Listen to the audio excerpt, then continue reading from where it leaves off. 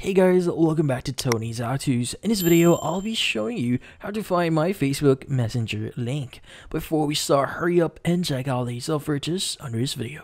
So let's get started. In this case, you might be wondering, how do you find your Facebook Messenger link? Well, finding it is fairly easy. So the first thing that you want to do here is you want to go ahead and open up Messenger.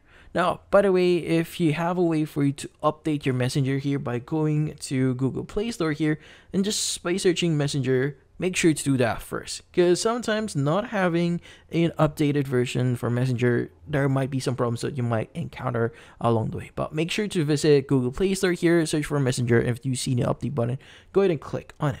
But in this case, let's go and open up Messenger here. And once in your home page or in your chats here on Messenger, you want to go and click on the tree bar icon at the top left of your screen. Now from here, you want to go ahead and click on the tree, or in this case, the gear icon at the top right of screen.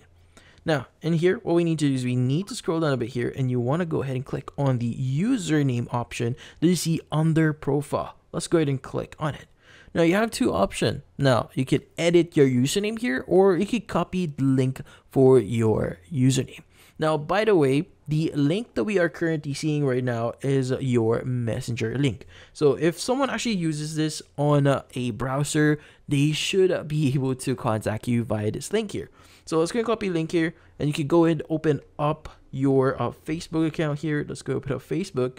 So in your Facebook account, you can go ahead and start posting this one or start sharing this in other platforms if you want to.